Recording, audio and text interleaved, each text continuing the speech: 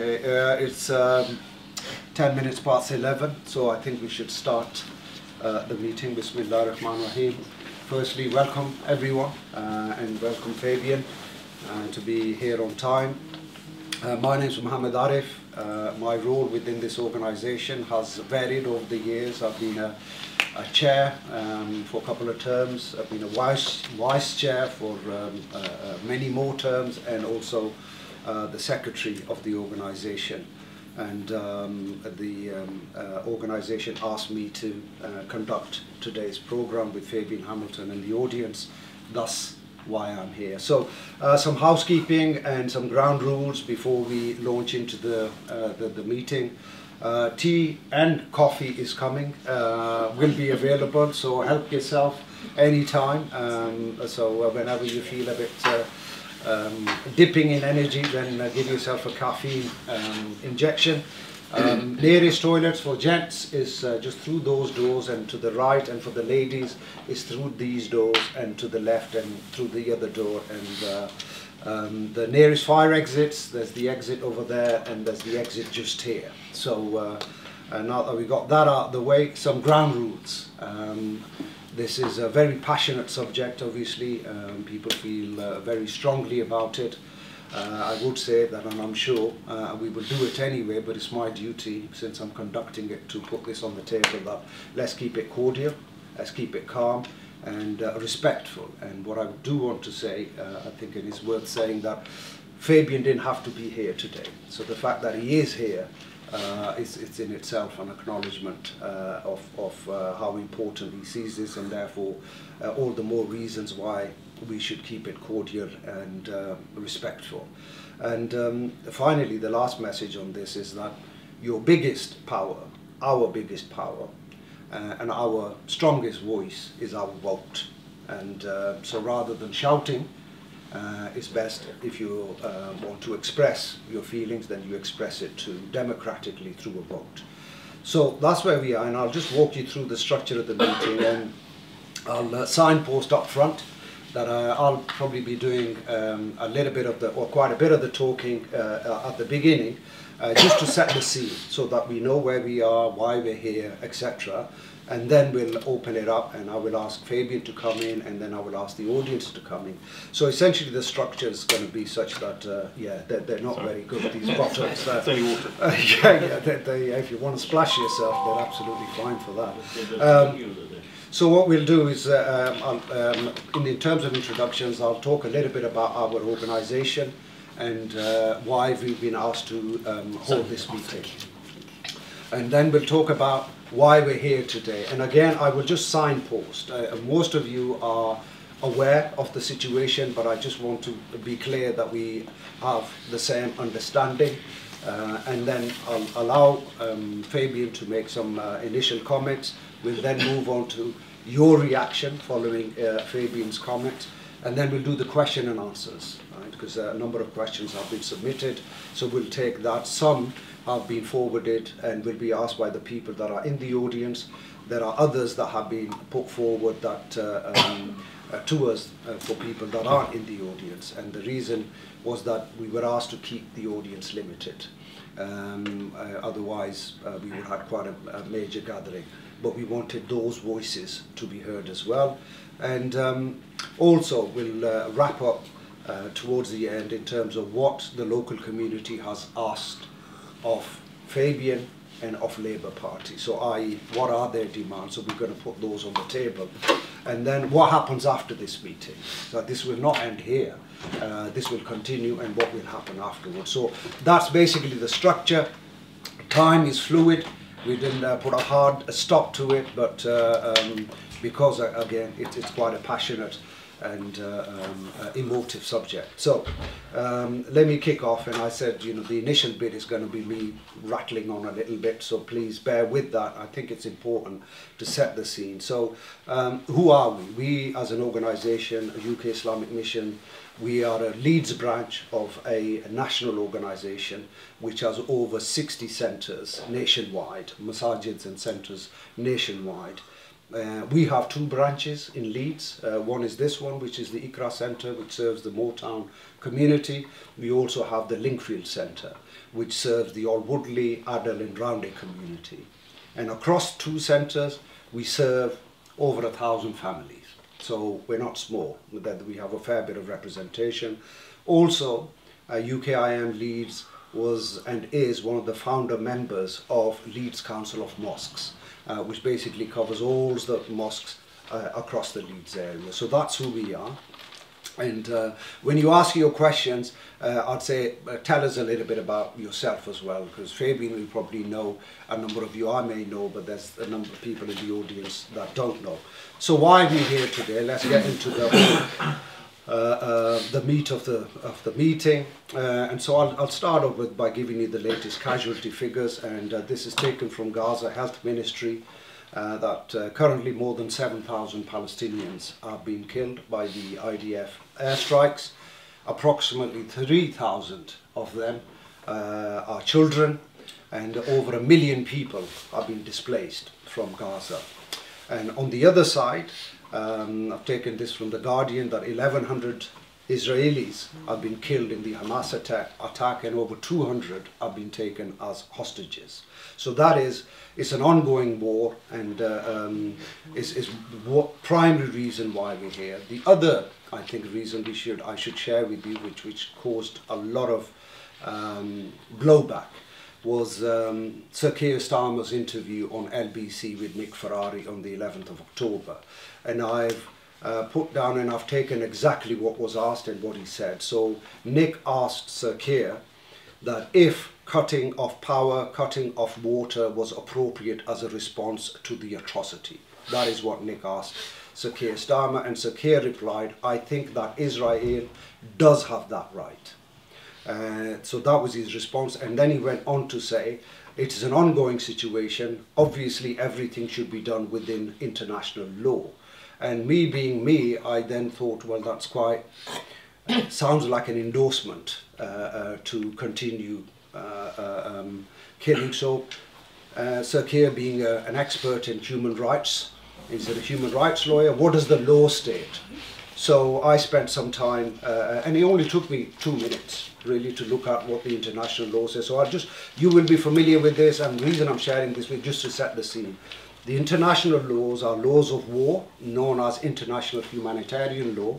They are designed to protect civilians and non-combatants during armed conflicts, right? So exactly fits here. And then specifically with Israeli occupation of the West Bank and Gaza is regarded as an ongoing armed conflict under international humanitarian law governed by Common Article 3 of 1949 Geneva Convention supplemented by the additional protocols of 1977 and these laws of war forbid and this is the bit that's really important these laws of war forbid collective punishment of a population so that's what the international law says. Now the question is, uh, and, and I will give uh, uh, Fabian an, an opportunity to respond after uh, I just put these uh, headlines to you. And then I looked at what the UK lawyers have been saying, and more than 250 British lawyers, including eminent professors, uh, have called for the UK government to press for a ceasefire in Gaza, saying there are serious breaches of international law that are being committed. This is UK lawyers, over 250 of them, have put this forward. And they said the UK government must take urgent steps to ensure it complies with its obligations under the Geneva Con Conventions. What are the obligations? Not to encourage so my reading was that if you're saying Israel does have a right, that is almost uh, giving a green light and encouraging. Not to encourage or aid, which is a plane full of uh, um, bombs and ammunition that you, as Rishi, Sunak, went and uh, provided Israel, not to encourage, aid or assist violations of international humanitarian law by other states. And then the UK lawyers are finally saying the sheer scale of the loss of life and injury in Gaza, particularly to women and children, with widespread damage to civilian objects and infrastructure, and this is the last bit, is the really important bit, indicates clear violations of international law, international humanitarian law. So when I looked at that and then I went back to Sir Keir Starmer's response and uh, with the uh, understanding that he is an expert in human rights, uh, I was left completely aghast as to how you can square these two together. So, but Sir Keir responded uh, to this, and his response was uh, that I was, and this is what he said, I was saying Israel had the right to self-defense. Now, I told you what he said, you probably heard what he said, but this is his response. That Israel had the right to self-defense. I was not saying Israel had the right to cut off water, food, fuel, or medicines, right? So that's why we're here. This is the situation that's ongoing. Before we move any further, I think it's only fair I ask Fabian uh, to, to give his thoughts and comments on the, what I've just put on the table and this is basically the gist of the feelings that we have and the emotions and now then I will open it to the audience as well so that you can share your interpretations and views on this. Over to you. Thank you, Arif, for that very clear introduction and for setting the scene. Uh, thank you, uh, friends, for inviting me today to be with you. Um, the first thing I need to say to you is that the number one object of anybody in any civilized society, especially those privileged like me to represent other people by election, is to preserve human life. And that's why, for many years, I was our Shadow Minister for Peace and Disarmament. Unfortunately, I'm no longer on the front bench. I can therefore speak a little more freely. My job is not to defend or attack what the party leader has said, but to tell you what I believe as your representative. And I think what we need to do collectively is persuade and ensure that the British government, that after all has limited power in this, limited power but some, speaks out at the United Nations to call for an immediate cessation of violence and the destruction of human life and of course human property that also destroys human life. So that is the number one aim. Now, how do we do that? Well, the first thing, and that's why I've distributed this early day motion. I better explain to you what an early day motion is. It's a motion that any member of parliament on the back benches, who's not in the government or the shadow government, can table in the House of Commons for signature by fellow MPs who are not ministers to call for a debate the, on the wording that is submitted. So it's a, it's a motion for a debate at an early day, an unspecified day. This would have been tabled already, but by the time we'd written it, we had one day of this Parliament left before it's shut, it was shut down on Thursday in preparation for the King's speech and the state opening. Sorry to bore you with the bureaucracy, but you need to know that's why it's not already on the table.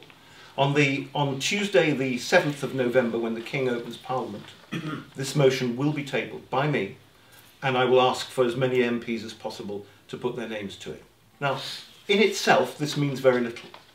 But the more MPs we can have signing it, the more it will show that we value the importance of human life and, most importantly, the protection under humanitarian law and under international law of innocent civilians in Gaza. And it is absolutely vital that the British government does everything in its power to ensure that the Israeli government and the Egyptian government allow the humanitarian supplies to come in through Rafah or anywhere else, even by sea, into Gaza. 20 or 30 lorries a day won't cut it. As the UN itself said, 100 vehicles a day are needed minimum. And to say that we're not going to allow fuel in because that might get into the hands of Hamas, I believe is no excuse. Fuel is absolutely necessary for the operation of electricity generation, of hospitals, of homes, of cooking, everything that makes life possible, you need fuel and energy for. So to say you can have food but no fuel, uh, water but no fuel, is an absolute nonsense.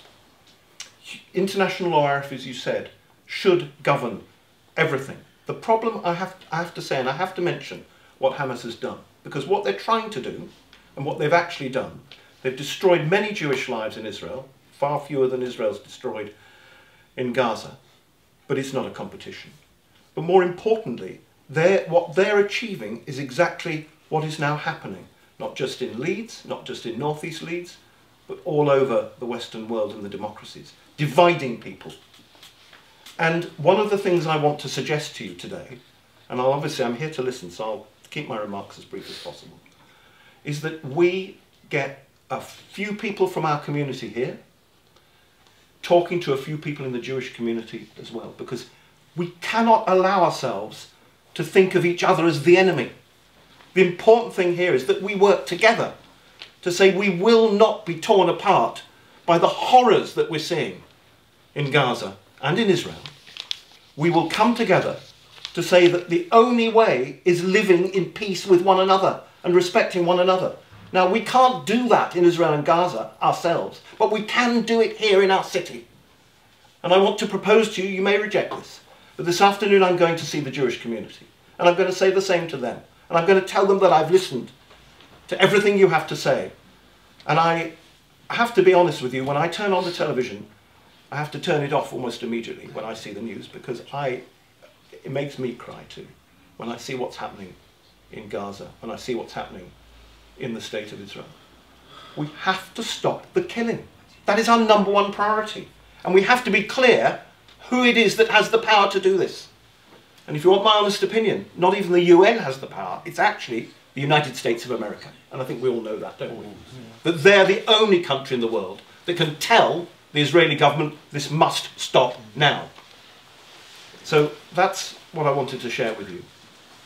I am with you, I've always been with you, in our mission to protect the sanctity of human life everywhere on this planet and to live in peace with one another. And I hope I've shown in 26 years as our MP, by example, that my love and affection goes out to everybody, whoever they may be, whatever my background may be. And I just hope the killing stops because it can't carry on like this. Thank you, Fabian, um, uh, for your uh, comments and uh, your position. Um, I'll, I'll, ask the. I've just noticed, uh, just reading this early day motion, that uh, you're asking for a humanitarian pause. Yes. And not for cessation. Why is that? Well, I'd love to see a complete ceasefire, and if there's a complete ceasefire, I'll be dancing the streets for that. But, but why are we not asking? But, what we're what we're talking about. Well, firstly, me saying ceasefire or humanitarian won't make any difference to what actually happens. But I think what's more important is can you negotiate with a terrorist group? Because I tell you this: if Israel said, right, we'll stop all cease all hostilities right now, mm-hmm. which is what we want, mm-hmm. do you think Hamas will? Because they won't. They'll see it as a green light to go into Israel and continue the killing and the, and the shelling and the missiles. They won't stop because they're not a nation state. You're not dealing. A, a ceasefire is an agreement under the laws of war between two sovereign states, nation states, not between a state and a terrorist organization whose only aim is to kill Jews and wipe out the state of Israel. Well, and they do not speak okay, for the Palestinian Okay, people. Fabian, that's, that's your view, that's yeah. your opinion. Uh, um, uh, one can argue that there's only one state that's been wiped off the face of the earth, and that is Palestine. Mm and uh, there is no resemblance of what was Palestine. But I will ask. But Arif, we support Palestine. You know that. Uh, uh, no, well, I think saying is one thing. Yeah, and actually exactly. acting is actions that speak well, louder let's see what happens when we. No, let's let me get the audience in, and I want to get their uh, reactions. Uh, Sister Kosa over there. Yeah, Kosa John. I'm an assistant head teacher, and I've been an active Labour member. Unfortunately, I'm going to be leaving up my Labour membership as a result of what is happening in Labour. Absolutely, um, I held on uh, with the belief that surely, surely it can't get any worse and afford. So, Fabian, you've just said that there's division, division in Leeds and we need to be talking about um, to each other, etc. Yeah, we do. But the unrest isn't here. The unrest that we're seeing, the bloodshed that we are seeing, is in Palestine. And if we're not asking for a ceasefire, surely, surely these words are empty then. Because we need a ceasefire in order to implement these yeah. words that you've written. So why not clearly state that you are calling for a ceasefire? That's the, the, the thing that we should be asking. Not watering down, because what we want to see, not just as, as Muslims, as, as you know, people that have supported Labour's stance, you know, for years, but as for human rights And no lives are worth more than another, whether it's, it's Israeli life or Palestinian life that, that is taken, that's one life too many.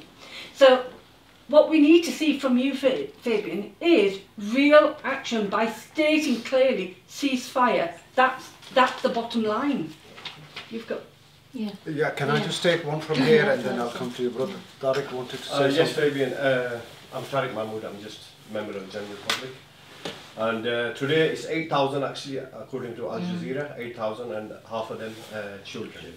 So as you mentioned uh, about Hamas, yes, we agree what you are saying, certain things about Hamas, but you, you forget to mention that the general public is that's been killed, the civilians and the children. There's no Hamas. They're not uh, you know, as you say that they are standing behind the general public using them as shields. No, there is no proof of that United Nations, and everybody has proven that, that that is not the case. And what we want is not today for you to just, uh, I mean, I've read this that you want a pause in this, and I'm really disappointed that you said pause. Mm. Really, that, that really, you know, I mean, I thought you would come with something bigger than that, something better than that. So we're not looking for just flattery today, and then tomorrow you put everything under the files. Because you know the general election is just around the corner. Okay, let me get the views. Uh, Sister Ghazala wanted to yeah, say something. Um, exactly, just to reiterate that, and, and the, the omission of the word ceasefire from here is mm. a real problem. And, and the second thing is, why haven't you signed Richard Burgon's early day motion instead of putting in your own, which would just water down support? Why haven't you signed that one, which clearly says ceasefire, clearly asks for all the things in here? Why did you feel the need to have another early day motion instead of, of that one. We've got the Secretary General of the UN, we've got Amnesty International, loads of uh, international human rights organisations calling for ceasefire. Why is it that you won't, you can't do that same thing? Well, I would call for a ceasefire if I thought anybody was listening and it meant anything, frankly. Well, why put this in there? Well, because I think this is more subtle and says more than Richard Burgon's early day motion. His word, his his motion contains the word ceasefire, which is what is really needed. And I'm That's sorry, I'm sorry to interrupt you, but I'm sorry, Tariq, that you think this is just a sop to you. It isn't. I was, I've been thinking about this for some time. Uh, we put it together just before the prorogation. This is not, this is not a sop to anybody. This is what I feel is the best way forward. And do you think that me calling for a ceasefire or Keir Starmer calling for a ceasefire will make the slightest bit of difference. I, am sorry, I, I, wish you were right, but I'm afraid. Well, make any difference. Okay, okay, let's, let's, let's just take one at a time, please. And I think what I do want to say that, uh, Fabian, you're, you're getting a gist of yeah, yeah, yeah. the feelings in the room. I know that. Right, and 600 uh, emails about uh, it. So. Well, there, there, there's a lot more that you haven't got yet, I can assure you. That you're getting the, the feel for the room and uh, I think also from an audience point of view, you're getting a very clear picture of where Fabian's coming from as well, right? So uh, let's keep it calm and cordial because at the end of the day, I'll reiterate again, your power is your vote. Uh, so, uh, uh, Brother Nain, uh, and then we'll come to you. Brother Gafur, yeah, Fabian, as you know that you know me from long time, when you were even a councillor, not a member of parliament. I was a news reporter at that time for Daily Jang. You become a deputy leader, you become a leader. We make you a member of parliament in 1992. 97. 97. You know that 92 you was done 97, oh, yeah. did it help you and did it. Why we did it? We, do, we don't have any argument with the Jewish or anything. I've been living in Moortown since 1985. Mm -hmm. I have old friendship, everybody at my work as well. What I'm saying is, this country is saying the children are more important. If a father or mother slap the child, you take him away from them. What about them little children with slaughter? Little children. I'm not talking about elders. I'm talking about little children. IRA been bombing from long time. Nobody called them Catholic terrorists. Why? Why? These, these is created by the all agencies which you calling terrorists. created by them and they invite with them. That's how it happened. Particularly I'm leader of the Labour Party. I'm really annoying about him, the way he spoke. All the I've been listening all his statements and all his program as well. he is now giving a little and it's, it's look likely uh, literacy sunnah, hmm. not a Labour Party. Opposition leader makes a party working, the working government. But this leader looks likely he's working for the conservative, hmm. like uh, Tony Blair and George Bush went together. Where was the smoke fire? Nothing. And they both been proved that they have done nothing that but just kill the people. Has anybody done any court on them? Did any trial them? They should be both of them should be tried if civilization is here. In my opinion, democracy has failed because only 10% ruling on us. Okay. Okay, just, uh, thank you very much, uh, Brother Ghafoor. Uh, you did make a, a, point that I think is worth picking up, which touches on what, what um, Fabian mentioned when he's talking about who do you talk to, right? They're terrorists, they want to kill Jews, that's their, uh, uh, that's their only uh, reason. Um, why did we talk to the IRA? Why, how did that happen? How come we got the Good Friday Agreement and there is peace?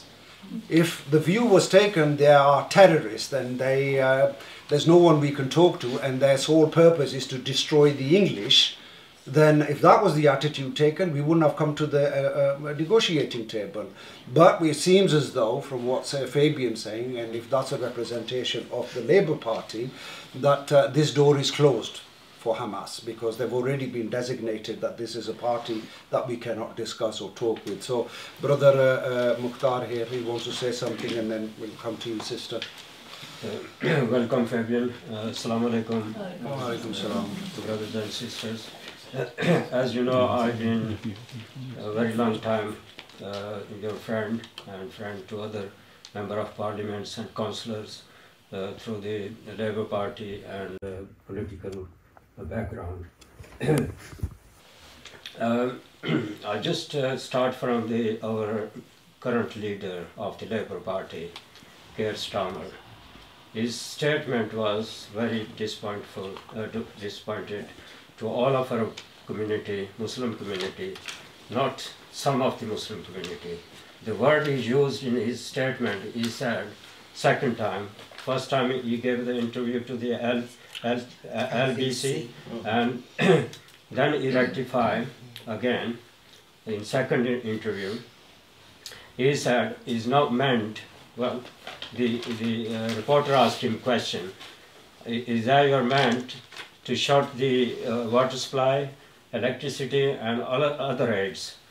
Now he said, I'm aware of that. This uh, statement's been shared widely and Muslim community, some of Muslim community concern and distress. I correct to him through you, it's not only some of the Muslim community, communities, it's one ummah, one community of Muslims. The whole Muslims are affected by his statement and his disheartened, including myself. And, and secondly, he said, he still stayed on his point. He is backing Israel, Israel government, not the peoples, the government who is taking this brutal action against the innocents. Uh, uh, nearly 8,000, Brother Tariq just said, I've seen on update as well. 8,000 people of Palestine killed, including half of the children, 3,555 children. They were uh, uh killed. It's the small children, same, same as you said. You start crying when you watch the TV. I do so, and so many other brothers and sisters as well do the same thing. We have same. I, I shot the TV. I not watched. I only watched yesterday to get update and to tell you what's happening. You believe this our leader, and I believe this our leader, Keir Starmer. He he does some of the silly and stupid words says each time when he elected newly, and he he, he, he, gave the statement about the Kashmir if you remember that. Then we sent emails, so many emails went from Kashmiris, and then he became and apologized about that. He said he uh, uh, back from that statement. He said, "Oh yes, that Okay, was but not my." Can I ask you to just, uh, Yeah. because there's other people. Yeah, just- to- just two- Just two wrap it minutes, up. please. Thank you. And uh, the bro- bro- brother knows my message. My message is to the uh, our Labour Party's member, including MPs, councillors, ordinary members, myself, and we are not going to be uh, in, in this situation if Keir Starmer don't come in front and uh, uh, in public and apologize what he said. You know, he back he back he, he said it's the right of the Israel to um, Cut uh, off water, electricity, yeah. etc. and uh, also the attack. That's the self-defense, he said. I I don't understand what's the self-defense. The word is used for that this term- terminology. And the my question to you is: UN is the big organization for the worldwide and for everyone side of the discrimination.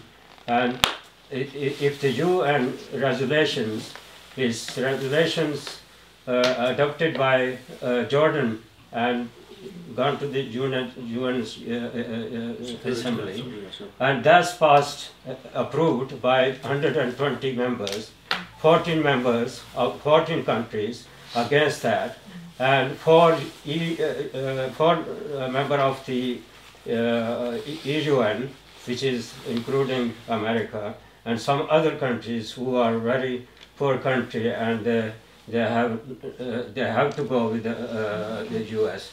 and those uh, not voted. Uh, for- for- for 42 not voted. With this excuse, there are uh, the the motion is not um, incomplete, which is not true.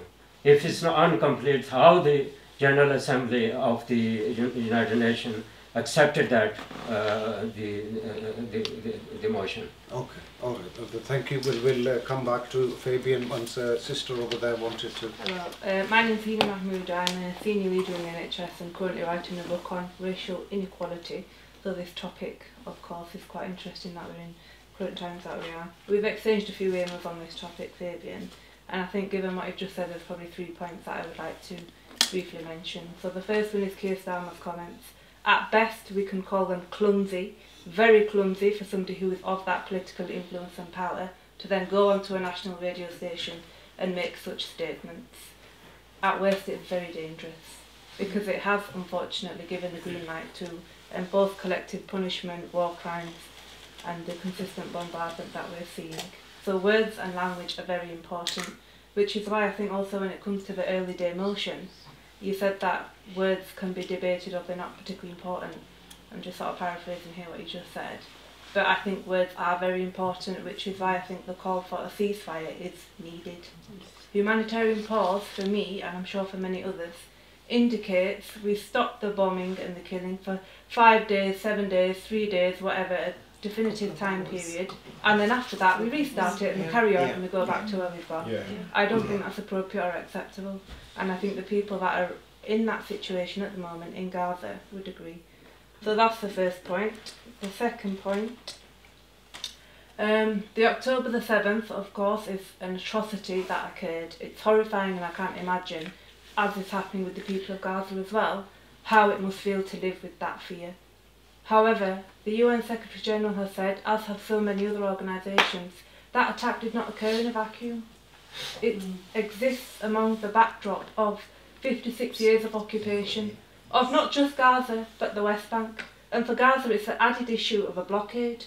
They don't control their own border, they don't control what goes in and out, they don't even control what they're going to have for the next meal. That's controlled by the occupier. Yeah. That is the root cause of this issue. I think anybody who denies that doesn't understand the complexities of this issue, mm. therefore should think twice before they speak on it.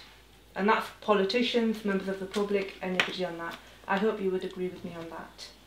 And thirdly, Hamas governs Gaza. In this country, it is recognised as a prescribed terror group. However, they don't govern the West Bank.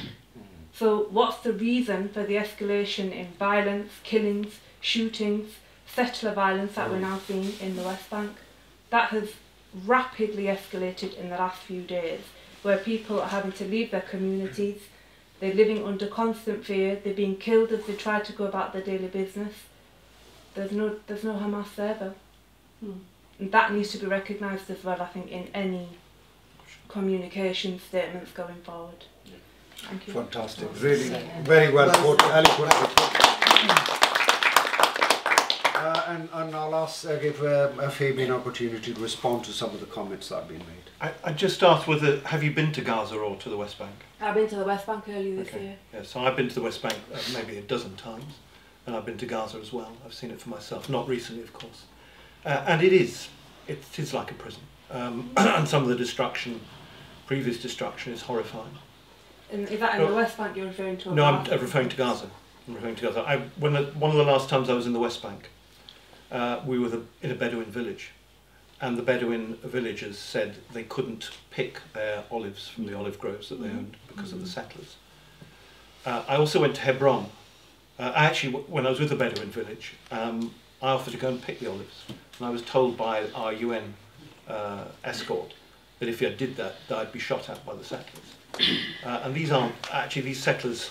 You know, they come from Brooklyn. They don't actually come from Israel. And they didn't grow up in Israel. And they weren't born in Israel. They're people who But believe they're the Bible gives them the right. are, no, I agree, and that's a real bone of contention. Yeah, And when we had a meeting in the King David Hotel in Jerusalem after that visit, Palestinian uh, can handle them unless uh, you know the IDF is not supporting them. I, I said in front of an audience of mainly Israelis, as a British Jew, you should stop the occupation immediately and withdraw all Israeli troops from the West Bank. And I was cheered by Israelis, by Israeli Jews. So we have to recognise there's a very big body, they're a minority, a very big body of people that live inside Israel itself, that are Jews, not just the Arabs in Israel, who actually hate what they, is being done in their own name, in their country's name. I was in Hebron with Breaking the Silence. I don't know if anybody's ever heard of them, but they're a, f- a group of former military uh, uh, soldiers in the, uh, in the Israeli Defense Forces who absolutely abhor what their own former comrades are doing and their commanders are doing, and actually work against what the IDF is doing to defend the rights of the Arab peoples of Hebron uh, and other parts of the West Bank. So, you know, it is, it's not all of one voice there. You have to understand, and you know, I'm sure, and especially if you've been there, That, so you've there's seen it yourself. Like Beit which is Yeah, and in Bet Salem is and it's now. So I, I was with Yehuda Shaul, who is one of the people who runs um, Breaking the Silence, and he had a stand-up row, which I thought was going to end in shooting or in violence, with a group of settlers, and they were arguing in, in Hebrew. I didn't understand what they were saying, but it was pretty violent, frankly, in, in language. So uh, what I'm saying is there's a huge opposition to what their own government's doing. uh, There is, even from, with, from within Israel, never mind outside. You've seen the demonstrations against Netanyahu. But coming back to the points that have been made, which I should have obviously written down. Um, look, I, I'm not I'm not Starmer's spokesperson. You know, I am your MP, and, and I'm here to listen. Now, if you if you if you if you think that me calling for a let him- let ceasefire is going to achieve anything, well, I'll call for a ceasefire. But I tell you now, the Labour Party is saying we should have a ceasefire. I, I wish I thought it would make a difference. What I want to see is an end to the violence, Yes. both in Israel and in, especially in Gaza. let- let him finish and then- sorry, uh, selective violence. brother, I'm not- It's a war let- on All right, Gaza. the slaughter, Palestine. Yeah, the killing, let- Yeah, let, let, let, loss of human life. Relentless killing it is. Can we just have some order in the meeting, Yeah, please? can I, One uh, brother, can I, please, please, no, no, no, no more two minutes, uh, uh, no, no, no, it's, Uh, it's not towards because. the end. uh, we- we- uh, uh, right, uh, let him respond, again I reiterate, your vote is your voice. Right? Uh, we're not going to get into a ping pong match here. And I think you must also accept, from what we heard, certainly I'm getting the appreciation that we're not going to agree on everything. Right? The, the, the sister raised a very, very pertinent point and uh, um, about West Bank and what's their fault, uh, why the uh, settlers uh, killing them, and why did we not get Keir Starmer coming on LBC and um, uh, criticising the uh, effects, uh, the actions of them.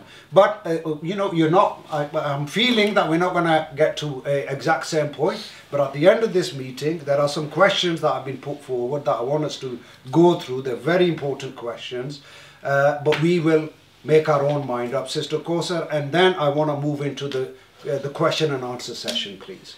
Fabian, you just said that, you know, with you ask, you know, that if you ask for a ceasefire, that's why we've got you here, to be able to hear what the voices of the Muslims are saying. And we're not just speaking for Muslims, we're speaking on human rights here. And to call for a ceasefire, I remember how proactive you were when Tony Blair declared, about the Iraq War. I remember how you had said, you know, that no, you know, about um, the anti-Semitism that you felt that Jeremy Corbyn and you were very proactive and you removed yourself from that. So what we're asking for is the same kind of behaviours here that we need you to be saying to us and reassuring us that, look, I am your MP, I am listening to what you're saying and I am going to respond because we're telling you that we're not happy with what Keir Starmer has said and what he is doing. Not only that, that people in in Gaza and the West Bank, they haven't voted for Hamas, and yet they're paying the price for Hamas. Yeah, yeah, and that, exactly that right. is, you know, it's just unacceptable, and that is not being amplified. And we need you, as our MP, to be doing that for us. Can I just have 30 seconds? Just Uh, th- yeah, you and our sister Hannah, Yeah. and then we'll move straight into Q and A, uh, Literally, if that's literally okay. 30 seconds because I'm Yeah. I've not studied politics or history and all I know is is that if you're not convinced you're not going to be convincing you've got to have the ability to stand there and feel it from the bottom of your heart I'm really concerned about the fact that you feel that you can't make a change mm. when you leave here today we need to be convinced that not only are we asking for a ceasefire we want a resolution we want change we want positive change we don't want there to be another war in two years' time, in 15 years' time. We want this thing that was put in 1947 and 1948 reversed. We pioneered that, the British pioneered it. It needs to be brought back and it needs to be resolved. We need to clean up our mess. That's all I know. And if, if you can't do it, Fabian, then we need to have somebody that's got the confidence and the ability and the accolade to go forward and move forward with it because you know if, if you can't do it then then we're pretty stuffed out we're really and for somebody that's uneducated like me we have to rely on people like you Can I respond to that, Harry? Yeah, of Because- course. Of course I can be your voice. What I'm saying is that the British Labour Party is not the British government. it Uh, be and therefore, it, well, I hope it will be. yeah But, but we have to win an election first. But you won't win an election unless you're actually hearing the voices. yeah Well, that's what I've always tried to do. You know, I've got a, I'm proud of my record over 26 years of reflecting the views of the people that I'm proud to represent. And I've always tried to do that. Um, but in the end, as Arif said, you know, you have a vote. I'm not telling you to vote for anybody else. I want to be re-elected. I'm standing again, even at my advanced age, uh, because I believe I've got a, a, a role to play and, and some energy left to fight for world peace and, and an end to violence and an end to arms sales, because that's what I've been concentrating on for most of my political career. And as Kaza said, you know, we going back 20 years, I defied the whips and marched through the no lobby to vote against the war with Iraq. Uh, and that was because of what was in my heart, but what, what all of you and your parents told me at the time.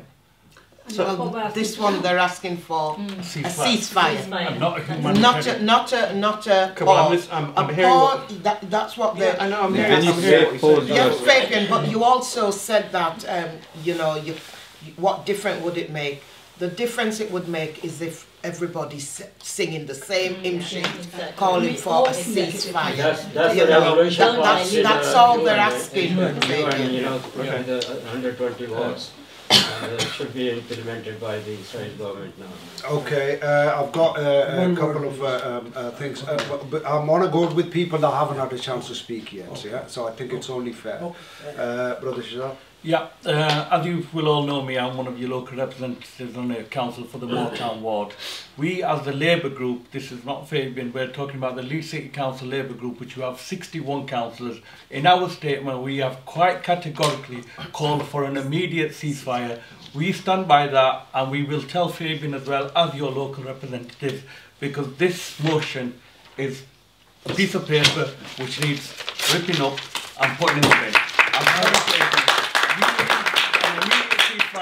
And that call has to come from you. You are our MP. We have the same feelings for our Israeli children, uh, the mothers and fathers that have been killed in this, in this terrorist attack.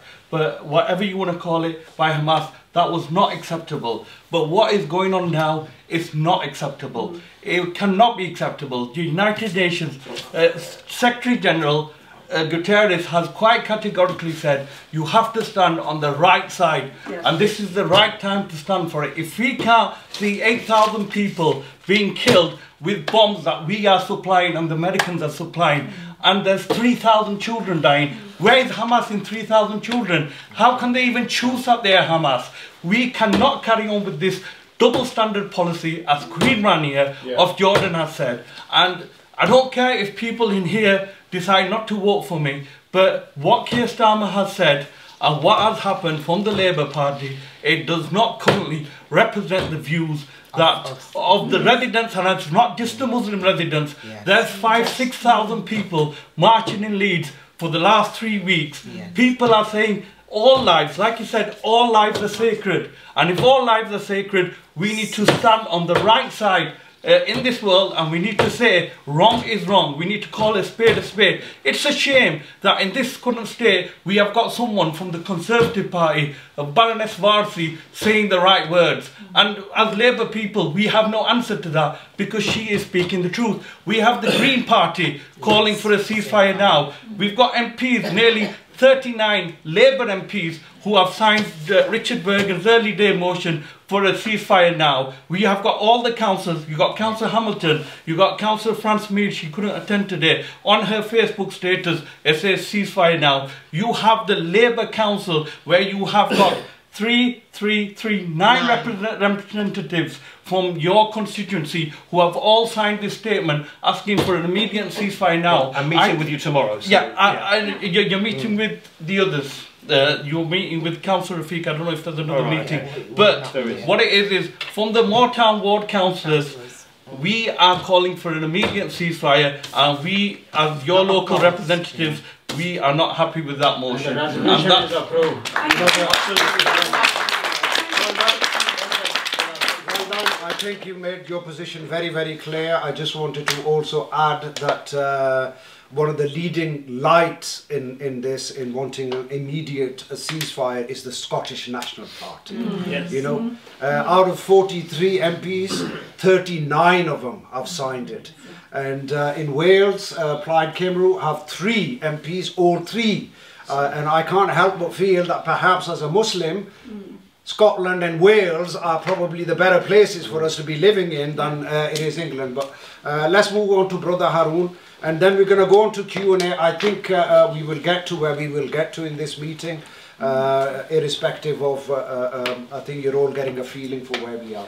Uh, yes, Brother Hi Haroon. Fabian, um, Assalamu alaikum. Uh, my name is Sayed Harun. I'm a civil servant by profession and I'm the, one of the member of this uh, center, Iqra Center and the Legal Center. Uh, very quick question, a small question which I just want to get your personal opinion on it. You mentioned earlier that what, Gaza, uh, what Hamas have done is a terrorist attack. They, they terrorized the Israeli peoples, they killed or kidnapped uh, innocent people we and I personally condemn that. But what Israel is doing, killing the children's, innocent children's, 3,500 children has been killed. Do you, in your opinion, do you think it's a terrorist attack? I think it's a shocking, unconscionable, appalling act to target civilians and especially children. Is But it it terrorist? is a- is it terrorist? Is it It's, it's it, technically, it's not a terrorist act, It's not that. but, but it does break international Well, humanitarian law and the, and the rules of war. It is. Well, terrorism. you, you can decide it's a terrorist act, It's but by the what I'm telling you, in international law, it definition isn't. is- Well, Is it war crimes then? No, It, it may well be a war crime. It may well be, uh, but It that's not well for me. That's not for it? me. That's not for me to decide. But you need. it's But fundamentally killing children. of course, civilians, look. bombing hospitals, schools. But what, what you're saying to me is almost as if I'm trying to So defend crimes, isn't it? the, the killing If of, you're of if you're gonna innocents. bomb hospitals, schools, that's a war crime. And you should never do that. And There may well be a war crime. But it is war crimes. Well, then let's then let's take the appropriate action. But this is not going to help mm. stop the war, is it? We've got to stop the war. We have to raise our voice. You said. Yeah, exactly. You said do. that nobody's going to listen. Yeah. If you do not raise your voice, No, what, what, no, no, what, what, what I'm saying is that the British Labour Party is not in power in this country and therefore doesn't have the Yeah, but they authority. have a You're voice. acting as the They, they, they may be. what we need to But the, hear. the current British government is what we need. They're the people we need to persuade Brother to go into the you see, I UN. think we Please. can put Uh, it brother- back forward. No, I'm not. No, I'm not. I'm not. have no voice, you can raise your voice. Brother, Because I think you're just hiding away from the. Brother Why would Tariq, I hide? Brother Uh, Tariq, Why would I hide? Fabian, Sorry. uh, Brother Tariq, and, and the rest of the members, uh, I will say, and I'll, I'll keep repeating this, that uh, I, I think we are not going to agree on certain things here. It's pretty obvious, right? And you can keep arguing till the cows come home and you keep uh, throwing different things. Uh, you're not going to get to that uh, central point. Um, so what I want to do is, is pick a few questions. I think a number of the questions have already been uh, asked indirectly and you've already got a response. And there are some that I think that haven't been asked, but we already know the answer to that from, from the conversation that we've had. So uh, I'm going to uh, uh, select some questions that I think haven't been asked yet. Uh, one of those uh, is, where's Brother Adnan? Um, your question on Keir Starmer's uh, statement on LBC. Is it, do you? Uh, I have, I can, I can read it out then. So the question that you submitted was uh, for you uh, personally, uh, Fabian, and I think you've, you've made your position. But again, I'll ask: uh, Will you publicly denounce the recent statement by Sir Keir Starmer in which he expressed support for Israel's decision to restrict access to medicine, water, and electricity to people of Gaza? If that's what he said, I fundamentally disagree with it. I fundamentally disagree. Of course I do. Uh, Well, what do you mean if? If that's you- what, what, Well, what, I don't. did I haven't. say? Well, I haven't read what he said. Well, I can read it not? to you. Uh, this is exactly what he said, and it was, it It was, was on the LBC Yeah. and they've repeated So- it. yeah. So let me let me read it to you for verbatim. Uh, let me read it It's on to you, YouTube. word for word, what he It's on said. YouTube. Yeah. Okay. Well, Okay, well, to, to save you the trouble, Arif, Yeah. I absolutely disagree with it and renounce what he said, and I will have no part of it. would you? Uh, Because- the, the question is, would you publicly distance yourself Well- and denounce it? Well, I've, I've said it publicly. This is public, isn't it? I've said it. You're recording this meeting. I've said it in public. Okay. All right. I'm Okay. very, very unhappy, and I denounce what's been said. No, nobody should be saying that. Okay. It's All right. not just Keir Starmer. Nobody should be saying Good, that. good. Good. So that's uh, that's very clear. Uh, there's a question from Sister Henna. Uh, I'll come to you, Sister Kosa. Um, is around the media. Accountability. Um, I think before I ask that question, I'm just a little bit concerned, Fabian, that if you are our MP, you're our voice, our representative, and that's part of the Labour Party. Yeah. And within the Labour Party, there are meetings happening about this very issue. Up and down the country, I know that the Deputy Lead, Sue Gray, is having weekly meetings about this. So as our MP, are you involved in these meetings or not? I've not been invited to any of them. That's a concern and I'm more than happy to raise that. Well, you're, you're welcome to raise it. I was a Shadow Foreign Office Minister for nearly eight years. I'm no longer. I was sacked from the front bench, as you Yes, I know. I spent nearly four years as the Shadow Minister for the Middle East Yeah. and North Africa. So I I- feel I like know the within region Labour well. itself there's a huge divide. can- so But you Hina, can I just say one thing that I represent all of you. That's great, and I love you all. And I represent uh, eight and a half thousand Jewish people as well, many of whom have got family in Israel. And I represent everybody else from all the other communities too. So sometimes these things are totally irreconcilable. And if you feel I'm being hesitant, I'm thinking in the back of my mind also of the other people I represent too. I want to try and represent everybody. That may not be possible, of course, but I'm going to try. Okay, uh, Sister Kosa, and then uh, uh, Sister Ghazala. Um, Okay. Um, Fabian, I just wanted to ask you, can you please explain your definition of justice and what the definition of genocide is? Well, I, I, I can't explain it, no. You don't think that what, you know, that when we look back and look at what Hitler did about that genocide, Yeah. Srebrenica, Rwanda, um, and that's what's happening in Palestine at the moment, that we as members are just absolutely appalled that the actions that are being carried out by Israel at the moment are tantamount to genocide. Genocide of the Palestinians and denial of their human rights. Um, and the, the whole thing that that's been happening, we are not hearing the word genocide being associated, it's collateral damage. No, it isn't. Children and women that are being murdered, that it's genocide, you know, whole communities, families wiped out, and we're not hearing people, you know, sort of understanding about genocide. Why is it that you can't explain that? Well, I, I'm sorry, I, ca- I, I can't explain that because it's. What do you want me to say?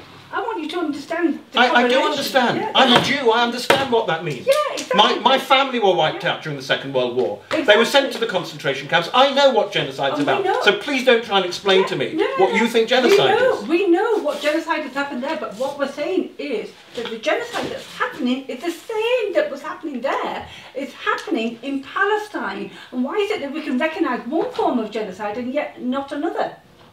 And this Well, is I- happening now, here. You know, I d- the horrors that are going on, I have denounced, I have told you how upset, how angry it makes me, how I wanted to stop. Together we need to make sure the killing stops. It is not the same as industrial genocide as the Holocaust and the slaughter of the Jews during the Second World War, which was industrialized, taken to concentration camps, and systematically murdered. It is, it is shocking. It is no less shocking, but it is not the same. In two weeks, seven thousand people died, and it's not industrialized. No, in two weeks, seven thousand people, in, mother and children. it is more than industrialized How, killing. how much? How many more times do you want me to say how angry, upset, distressed, how emotional I feel about it too? I, I feel exactly that, but I'm I just read more history of the, of the Holocaust because then you'll see Uh, it's no, not. I'm, I'm it doesn't gonna, matter. It's I'm, uh, no, sorry, I'm going to. Uh, uh, uh, I've just been handed because we need to. Uh, uh, uh, I think I've got another you you can make. Yeah, Fabian's got another meeting. We can keep making the statements. Uh, you will get the same response, right? And uh, uh, again, at the end of the day, uh, you make a decision because there, there's a demand that's been made of us. Uh, as representative of the local community that, that we were told to put forward to Fabian Hamilton as to what the community. The reason we've only got a handful of people here is because that's what was asked by Fabian's team. That we don't want a, a big group because had we actually uh, made a public announcement, uh, we would have needed a far bigger venue than this. But we respected that. We wanted to keep it, uh, but we will be taking the minutes of this meeting, the recording of this meeting, and one of the things that I uh, want to share with Fabian is what the local community has demanded that we put. A sister Kosa, I There's have just to. one thing I do. To I've given you more than more than enough time. But next to just Fabian, we haven't called you here to have a go at you just because we feel like it. You are our voice yeah. and you represent us. And if we are not coming to you and we're not being heard, then we need to go away and think, right, actually, who's going to listen and who's going to be proactive? Well- because every one of us can make a difference. We, we can't, you know, change the war. We can't change what's happening straight away. But collectively, we can. Well, sister, I'm here because I have been prepared to listen and I have heard what you've said. And tomorrow I go to the Islamic Centre and I hear more representatives of the community there. Okay. All right. Uh, did you want to say something and keep it 30 seconds, because brother, you did a it's long Very speech. short and- question. It's uh, which is not answered by uh, Fabian. Maybe It's he's not the- going to answer. That's what I'm saying. There are No, certain no, questions just- you keep asking. Just for everybody, uh, it's Mm. clo- our collective issue is the ceasefire, is the United Nations resolutions approved. And uh, I, I don't know, it's, it's still going on, it's, it's, it's more bombardment after that, it's still going on, it's, it's killing in the hospitals as well. When is going to be ceasefire, even its approval of uh, the United Nations uh, with the majority? I think Fabian's already answered that question, right? This is why I'm saying let's not keep going round in circle because he believes asking for an immediate ceasefire is uh, uh, exercise in futility because nobody's going to listen. And they, uh, Labour, they, his position is one to ask for a humanitarian pause. That is very, very clear, uh, Sister Ghazal. No, because you did say if you want if you want me to ask for a ceasefire, I'll ask for a ceasefire, and we are asking Uh, you. we're asking to you call to for a change- ceasefire. yeah, That's what we're to asking you change to the- do. and the other thing I would just like you to Then I need to reflect on what yeah, you've said. I would just like you to take away from this meeting that when you talk about Jews and Muslims, it's not Jews. It's not Jews we're talking about. It's Zionists. People who are occupying the West Bank and Gaza and think that it's a colonial project and think that they have the right to take over those uh, over those places and take over the land of Palestine and make it, as the Likud party wants to make it, simply for Jewish people. They've clearly said that. They've come out in, in, in Minister of Defence has said it. There's no there's actually no uh, question that is that is exactly what they want. So when you talk about Hamas wanting to kill Jewish people, their charter actually doesn't say that. They say that they want to, to oppose the Zionists. They don't talk about Jews. Mm. I think it's actually anti-Semitic to talk about Jews when we talk about Israel. We should be talking about Zionists. Well, I'm glad you said that, Ghazala, but I just refer you to what happened in Dagestan yesterday. Well, yeah, you know, the, yeah, and, and, and, we could refer you to many, many incidents. Yeah, of course you could. In Gaza yeah. and in the West Bank that are even worse. ultimately, that. what we need to do is make our voice so loud that the UN and the Americans, who really can stop this happening, stop it happening. And, the Likud do not speak for the majority of Israelis. Okay. Okay, uh, um, I'm um, going to put forward what, what the local community have asked us. You've already touched on that, Sister Ghazala. Um, I do want to put uh, my view and feelings forward as well. Um, and, and those of you that don't know me, I'm a British born Muslim. I was born in this country, I was born in this great city. Um, educated and I'm a professional. I've been a law abiding citizen all my life. Mm. And I've always tried to do what I believe is right and stand up for what is just.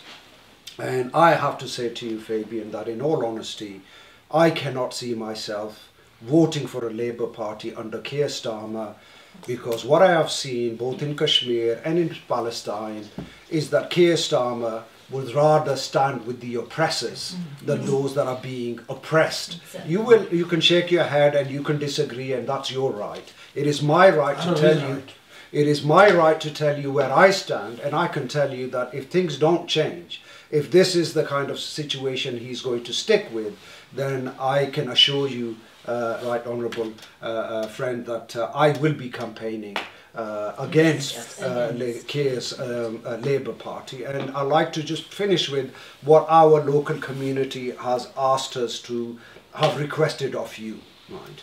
Uh, one thing you've already answered, which is uh, so the first thing they asked for is for uh, you to sign the early day motion calling for not a pause but an immediate ceasefire. You've answered that. Uh, they've also asked for you to publicly distance yourself from Keir Starmer's comments. You've done that. The third element is, is really the message that this community wants you to convey to the Labour leadership, in particular Sir Keir Starmer, and that is uh, we would want him to retract his statement for, that he made on LBC on the 11th of October. We want him to call for an immediate ceasefire, and we want called uh, the application of international law in what is happening in Gaza in Israel to be looked at it independently and those that are violating the international humanitarian law to be feeling the full force of the law. This is what the people of our community have asked to put to you. And I just want to say what happens next. We will now take this message and this meeting to our bigger congregation. We're going to do this this Friday. So as I said, we represent over a thousand families across both our centres. There's a lot of emotion and there's a lot of pressure on us. So we will take the summation uh, of uh, we brought their thoughts, we brought their uh, questions to the table, we had this discussion and we will share their response and then of course it's up to them to decide whether Labour is the party for them moving forward under Keir Starmer or not. And just as each and every one of us has this choice moving forward, I think the days of us blindly voting Labour uh, like lemmings and uh, being under the influence of our so-called local community leaders and uncles and relatives, I think those are long, long gone. And um, uh, so, uh, like I said, you know, the best way to express yourself is democratically through your democratic right to vote. So that's where we stand. And if I can come in on the third question, yeah. I always support the application of international law in any part of the world, One whether, that's, whether that is China or Yemen, whether that's anywhere else in the world. Yeah. It should be equally applied consistently. Okay, yeah. thank you. Uh, I think we will wrap the meeting up. Fabian needs to go. Yeah. yeah. Uh, Keir Starmer should resign, please. Oh, come on, that's not going to happen. I'll tell you. So, yeah. yeah. What do you want him to do? Uh, so that's not going to happen. So let's not ask questions that we know are uh, uh, not going to happen. Uh, just just make uh, uh, quick the last brief, uh, comments seconds. and yeah. then we'll wrap it yeah. up. Please. I would like to thank Fabian. I know this has been a really tough meeting for him, and I could understand the emotions running high. I am also emotional, but I'm also emotional for my Jewish uh, residents that we have got. They should not have to be putting up with all the missiles that are coming across. But the United Nations, the British government, or the British people, uh, as has been said earlier by one of the sisters, the Balfour Agreement, we have left messes in Palestine. We have left issues in Kashmir. We should, why are we always having to follow America? We need to have a government and the MPs and the elected members and the leaders of our parties that can actually speak up for England and Britain and the United Kingdom, not not say and do what America asks us to do. Ju- uh, like if we blindly f- uh, kind of follow on and go into wars like Iraq and everything else, it's just not good. But and I they think always will. They always yeah, will. and, and, and the thing is this is, as your local representatives, I will repeat again, we have, and we were the first council to call, to call, uh, yeah, we will let Fabian go in about 30 seconds. We were the first council to actually call for an immediate ceasefire. And I would like Fabian, as one of his local representatives and councillors who represents Labour, I would like Fabian to hopefully go back and reconsider this and change this and change this to I know the uh, the earlier uh, early motion is closed. I would like him to change this not to a humanitarian pause. We would like Fabian to change this to a call for an immediate ceasefire now. This is both for the Jewish people and for the Muslim residents of Palestine. It has to be fair and equitable for everyone, not just for one. So I, I if, if Fabian can give his final comment on changing the wording from a humanitarian pause to a immediate he's already ceasefire. no, that uh, answer. if he's willing to do that, Yeah. uh, uh, I, I think before you go to the congregation, I, I, I think we should get Fabian's All well, let that. me reflect on it and Reflect, yeah. If you can get back to Arif, yeah. Great stuff. Okay, uh, and on that note, I think we will uh, wrap up. Uh, we've got Zohr time coming as well, and uh, I'm sure we could have questions and comments uh, till, till this evening. But uh, you've got a, a flavour uh, for where we are. Uh, tea and coffee. Uh, coffee is available now as well after popular demand. Uh, just when you so grab a cup on your way out, I suppose. In case you want to jump up. Uh, yeah, yeah. So again, uh, We should have really had a meeting with the Jewish community so that Fabian knows we're on the same side. Uh, where we just had a chat about Yeah, that. no, we just- we just had a Uh, we chat just about we that, just yeah. had that conversation. So, uh, and we will. Uh, Yeah, so I'm going moving to the Jewish community now. now, and then we Um, will we will have that dialogue with them as well, and I think it's uh, right. can I use? Can I give them your contact You, you can, uh, they can put me on the uh, dartboard. They will, uh, they can do um, uh, that's fine. So I think we'll wrap it up I here. can be the go-between if you want. yeah, yeah, I think that might be Plenty of good. Jewish people right, okay. march windows actually. Okay, on yeah. protest. Yeah. Okay. So thank you all for coming and for your time, and uh, thank you again, Fabian, for coming. And again, I want to reiterate, he didn't have to come. So Thank you, Fabian. Thank you for coming. Sorry, friends. We got. I've got. A, I'm not being rude, but I've got to get off to this other meeting.